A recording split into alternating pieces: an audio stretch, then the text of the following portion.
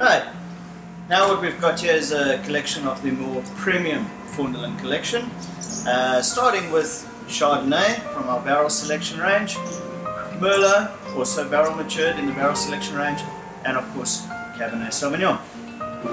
After that, our flagship wines, the Babiana, a white blend based on Chenin Blanc, and the Monsonia, a red blend based on Shiraz. Now these two wines are named after flowers endemic to our region, the Paardeberg Mountain.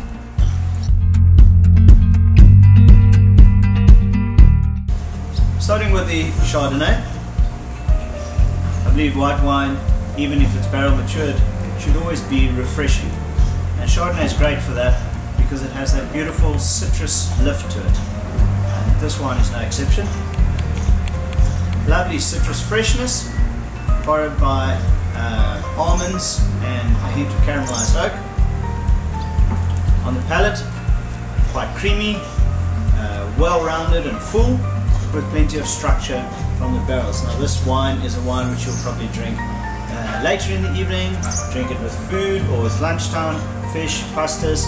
Sadly, many of the restaurants where you would be able to enjoy it are now closed, so hopefully you have some at home or can perhaps shop online.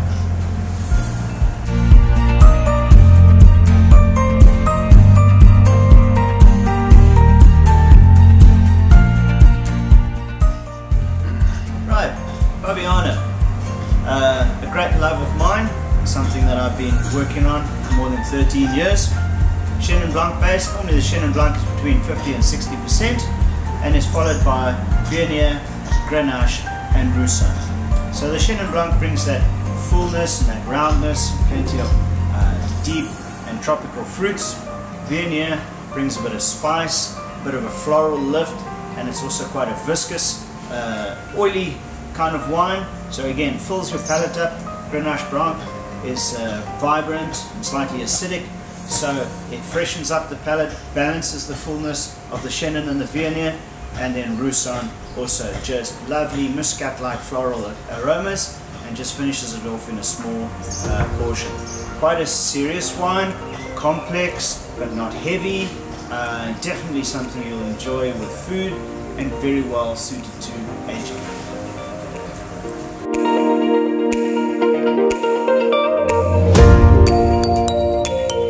So this is the, the first time that I'm actually presenting the barrel selection Merlot, a fairly new release for us, only being released at the beginning of uh, March 2020, and something which we hope will grow from strength to strength. Barrel matured in small French oak, that'd be 300 litre French barrels, for about a year and a half before I do a barrel selection, that's where it gets its name, and only the best barrels go into uh, the final blend and are then bottled and matured for a portion of time in the bottle before it being released. So Merlot being a thin-skinned varietal doesn't uh, get too heavy but never lacks for complexity. This wine no exception. You're getting that beautiful red berry fruit that one associates with um, with Merlot. Not so dark, more the red berry fruit. So it's it's it's quite uh, how do I say uh, fresh, vibrant, alluring, rather than being deep and broody. Great color on this. And just velvety smooth, plenty of spice, very light pepperiness to it, and just a lovely long finish.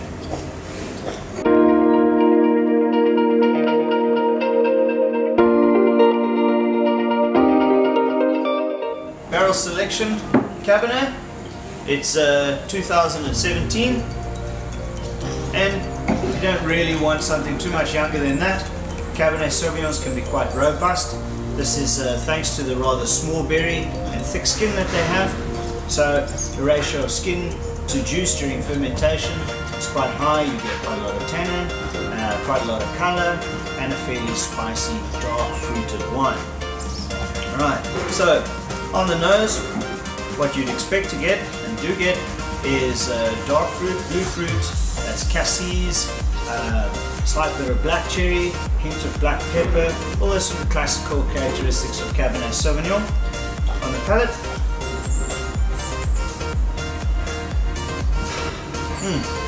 Really delicious, fuller than a Merlot, uh, a little bit more broody, a little bit more smoky perhaps, and um, a little bit more structural. So you want this with uh, perhaps a juicy steak or something along those lines, and of course you get that light peppery finish.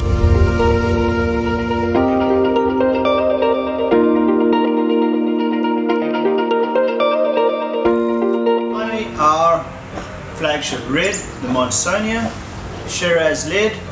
Now on the farm our soils are mostly granite soils and granite tends to bring a bit of life to your wine. And so Shiraz, which can sometimes be a bit too broody and perhaps wallowy, is uplifted and there's lots of verve in the wine thanks to the soil. Uh, and not just the soil, but of course it's blended with Mourvedre and Grenache which soften and freshen the wine as well. They're not such tannic wines, but they have a great floral bouquet, um, sort of potpourri, wild floral bouquet, rather than ornamental flowers or lilies or something like that. And a little bit of caramel as well, which adds to the spice. And you'd expect to find something quite dark, quite broody in this wine. Um, we've aged it a bit longer, it's a 2016 and softened it so you get this really full wine which is non-aggressive very complex draws you in with sort of every sniff that you give the wine and of course then when you taste it really pops in the mouth fills the mouth up really juicy velvety smooth lingers and lingers and lingers This is a wine which, because of its fullness and its roundness and the fact that it's got a bit of age in it, will be enjoyed in exactly the same kind of style. Comfortable environments, good conversation, and slow cooked meats and foods.